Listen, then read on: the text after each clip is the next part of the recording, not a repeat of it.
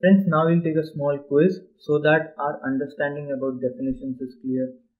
We know who said what, which person gave which definition. We'll try to match the definition with the person who gave it.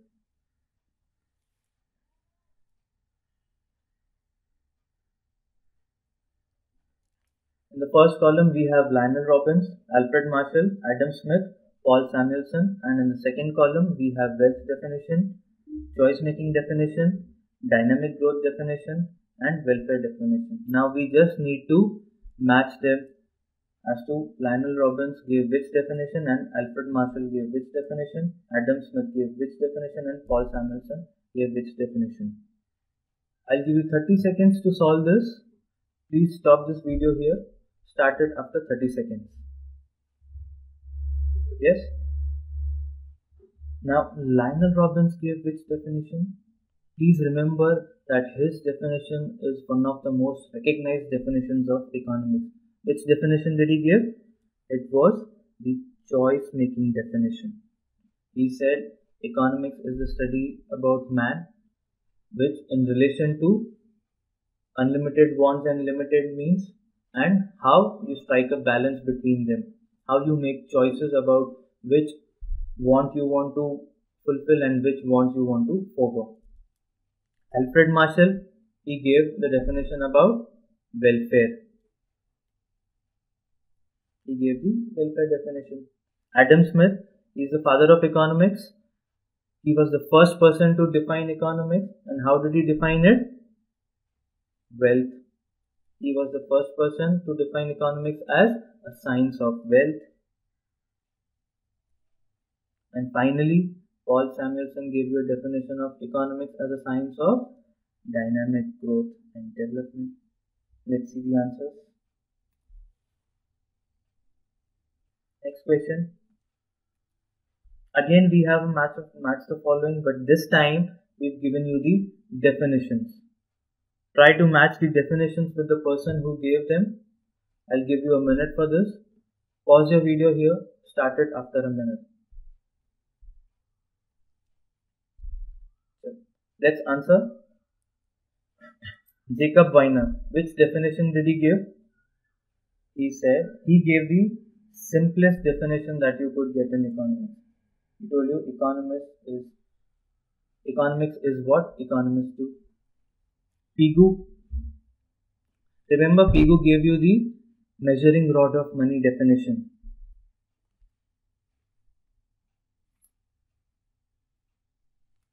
So, gave you the measuring rod of money definition. Adam Smith, an inquiry into the causes and nature of wealth of nations. Paul Samuelson, Paul Samuelson gave you the growth and development definition.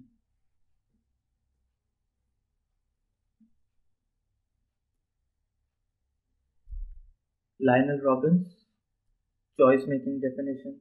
Already say economics is the science which studies human behavior as a relationship between ends and scarce means which have alternative uses.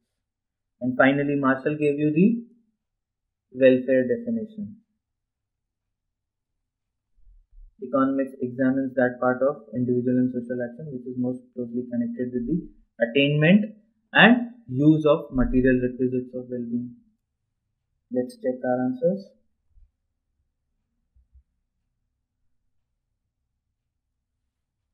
So these are the answers.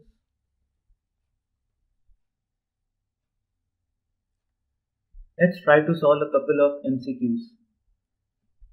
Economics is the study of mankind in the ordinary business of life was given by A. Adam Smith, B. Lord Robinson, C. Alfred Marshall, D. Samuelson. Who gave this definition? It was Marshall. He said economics is the study of mankind. Adam Smith said economics is the study of wealth. He brought the focus towards it being as a study of mankind. Let's check. That's the answer. According to Robbins, means are A. Scarce B. Unlimited C. Undefined D. All of these. How did he define means? He defined means as scarce. Let's take the answer. It's scarce.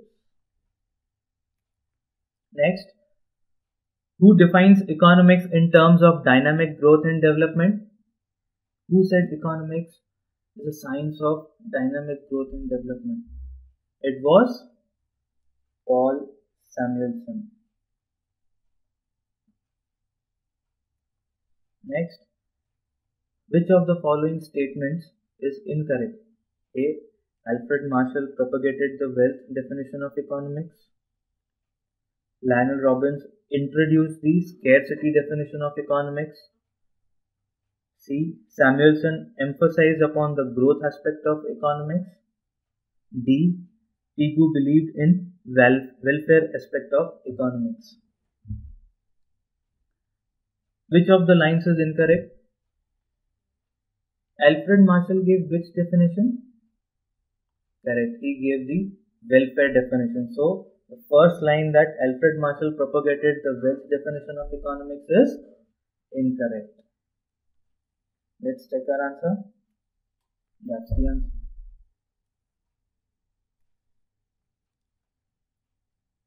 Next, economics is the science of choice making. This implies no choices to be made. Second, choices to be made between alternative uses. Third, choices to be made between means and ends. D. None of the above. Now, why does the problem of choice making come? Does it come because the resources are scarce and the wants are unlimited? Or it comes because the uses of those scarce resources are many? Multiple uses of those scarce resources. Yes, correct. It's because the choice to be made between alternative uses.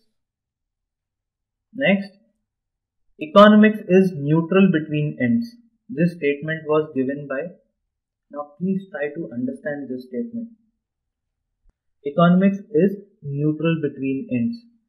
This statement says it is neutral. Now, what does this word neutral mean?